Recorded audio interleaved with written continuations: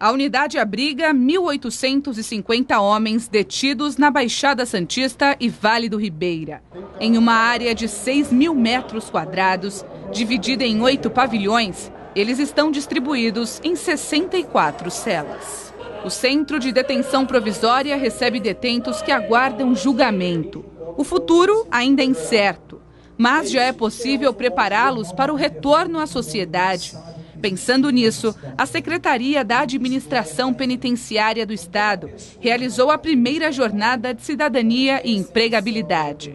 Esta cerimônia oficializou uma parceria com entidades instituições e detentos. Um dia de comemoração também, um dia de resgate da importância do que nós estamos fazendo aqui e de um olhar diferenciado da sociedade para a condição humana daqueles que estão privados da liberdade.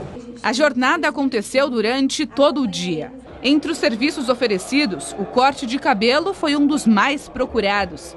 Aqui nós encontramos o Kelvin, que pediu para raspar a cabeça e doou mais de 20 centímetros de cabelo ao Hospital do Câncer. Para mim foi um gesto de amor, né, porque tem muitas crianças, inclusive adultos com câncer, que é, tudo que eles precisam além de esperança são sonhos e um desses sonhos é cabelo, né?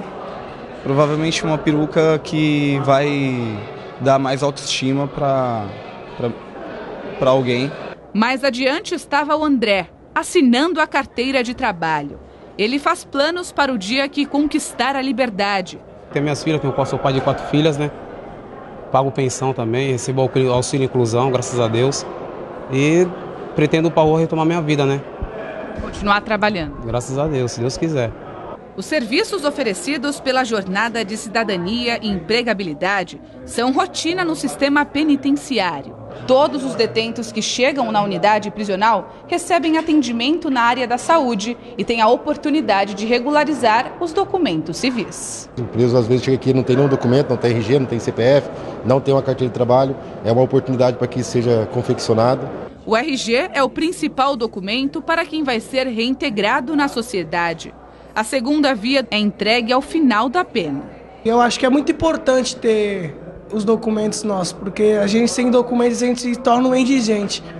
Então, eu acho importante ter os documentos sim. Palestras de empreendedorismo e psicologia também fizeram parte da programação da primeira jornada de cidadania e empregabilidade no CDP.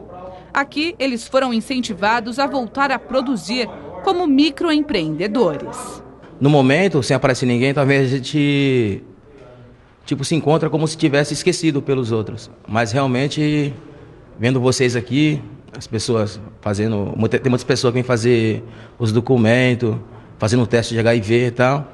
E é muito interessante isso, é muito importante para nós presidiários.